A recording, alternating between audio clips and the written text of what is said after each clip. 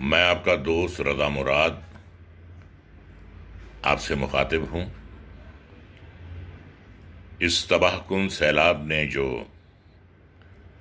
आप सबको जानी, माली और जहनी नुकसान पहुँचाया है, इसका हमें बखूबी अंदाज़ा है। अल्लाह कई बार अपने बंदों का इम्तिहान लेता है। इसे इम्तिहान की घड़ी समझें। जिस तरह अच्छा वक्त नहीं रहता, उस तरह बुरा वक्त भी कभी रहता नहीं है, वो भी चला जाता है। और बुरा वक्त भी मेहमान की तरह होता है, आता है। और जैसे मेहमान चले जाते हैं, बुरा वक्त भी चला जाता है।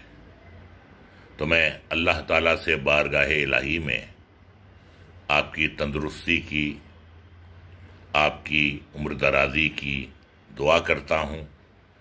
और यही दुआ करता हूँ बारगाह इलाही में कि दोबारा हालात आपके मुल्क में मामूल पर आ जाएँ। आप सब हमेशा खुश रहें, शाद रहें, आबाद रहें, सेहतमंद रहें, आपकी उम्र दराज हो। अल्लाह ताला भी फरमाते हैं कि इन मा साबरीन, ये सब्र की घड़ी है, चली जाएगी। तो एक बार फिर आपका दोस्त रजा मुराद आपके इस गम में इस सानहा में बराबर का शरीक है और अल्लाह ताला से फिर दुआ करता है वो कि हालात आपके दोबारा मामूल पर आ जाएँ, खुशियाँ दोबारा आपकी ज़िंदगी में लौट आएँ।